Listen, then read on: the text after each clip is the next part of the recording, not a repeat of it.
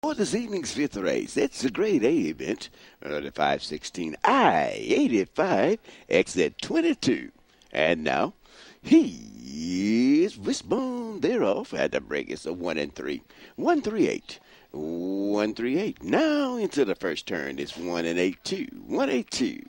182 and 3 4.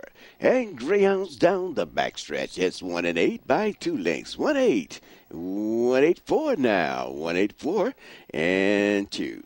Here we come into the final turn down the home stretch. It's the one, up one and four, one, four, six, and eight, one, four, six, eight. Please hold all tickets.